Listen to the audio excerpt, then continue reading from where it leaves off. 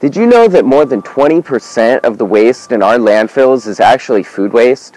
Well, today we're going to show you a great way to turn some of that food waste into a nutrient-rich compost that's perfect for feeding your garden or landscape plants. Vermicomposting, or worm composting as it's often called, is one of the best ways that homeowners can easily turn their fruit and vegetable scraps into a valuable compost. Today I'm going to show you an easy way to make your own worm compost system for under $20. To get your worm bin started, you're only going to need about four basic materials. The first thing are a couple plastic storage crates. I picked these up from Home Depot for about $12. The next thing that you're going to need is bedding material.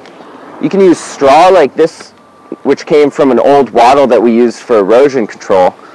You can also use dried leaves, like you see here.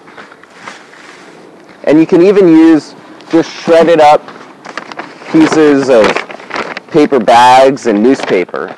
You're also going to want to have a drill so that you can drill some holes in the bottom of your plastic containers. And then last of all, you'll need a bag of red wiggler worms. These are different than the night crawlers that you get from a fishing tackle shop or something like that.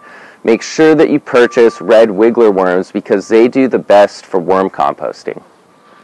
The first thing we're going to do is drill some holes in the bottom of one of our crates. You only need to drill holes in one because the other one is going to be used to actually catch any water that drips down from your compost system.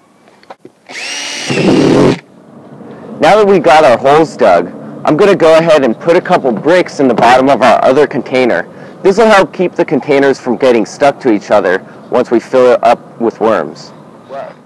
You want your bedding material to be about the dampness of a wrung out sponge. Once you've gotten your bedding wet, fill up your container about three quarters of the way full. Once you've got the bedding added, go ahead and add your worms on top.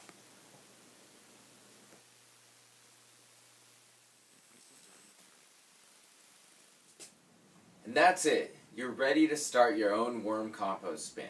Stay tuned for one of our upcoming videos to learn more about how to maintain your worms so that they stay healthy so that you can keep your garden healthy.